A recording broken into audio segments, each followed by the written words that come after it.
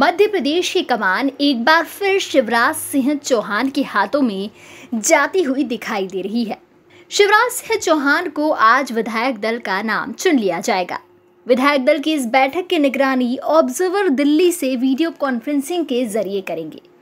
वहीं मध्य प्रदेश में सियासी घमासान के बाद अब भारतीय जनता पार्टी की सरकार बनने जा रही है। इसके साथ ही राजभवन ने मुख्यमंत्री के शपथ ग्रहण के लिए रात 9 बजे का वक्त दिया है। रात 9 बजे मध्य प्रदेश में मुख्यमंत्री पद की शपथ ली जाएगी। इसके बाद शिवराज सिंह चौहान आज शाम चौथी बार मुख्यमंत्री पद की शपथ लेंगे। कोरोना वायरस के कारण शपथ ग्रहण सादगी के साथ होगा। राजभवन के भीतर शपथ की तैयारी शुरू हो गई है। उनके साथ मिनी कैबिनेट भी शपथ ले सकती है। माना जा रहा है कि इस शपथ ग्रहण में कम ही लोग हिस्सा लेंगे।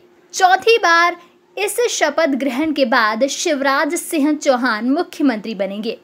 इससे पहले पहली बार शिवराज सिंह चौहान 29 नवंबर 2005 में मध्य प्रदेश के मुख्यमंत्री बने थे।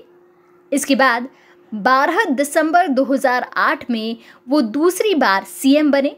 8 दिसंबर 2013 को शिवराज ने तीसरी बार सीएम पद की शपथ ली थी। हाल ही में मध्य प्रदेश में कमलनाथ सरकार की विदाई हुई है। कांग्रेस के 22 विधायकों ने इस्तीफा दे दिया था। इनमें छह मंत्री शामिल थे। स्पीकर ने मंत्रियों का इस्तीफा कबूल नहीं किया था। विधायकों के इस्तीफे के कारण कमलनाथ सरकार अल्पमत में आ गई थी, लेकिन फ्लोर टेस्ट कराने की बजाय सदन को स्थगित कर दिया गया था।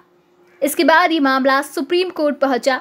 सुप्रीम कोर्ट ने कमलनाथ सरकार को तुरंत फ्लोर टेस्ट कराने का आदेश दिया।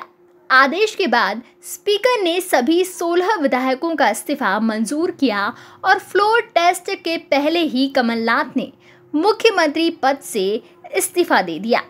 कमलनाथ सरकार पर संकट के बादल उसी दिन से मंडराने लगे थे जब कांग्रेस पार्टी के कद्दावर नेता ज्योतिरादित्य सिंधिया का मोह भंग हो गया था। सिंधिया के करीबी विधायक बेंगलुरु चले गए और सिंधिया दिल्ली आए। फिर उन्होंने प्रधानमंत्री नरेंद्र मोदी से मुलाकात की। इसके बाद सिंधिया ने बीजेपी ज्वाइन कर ली। कमलनाथ के इस्तीफे के बाद अब शिवराज चौथी बार मध्य प्रदेश के मुख्यमंत्री बनने जा रहे हैं। Subscribe our channel and press the bell icon for more updates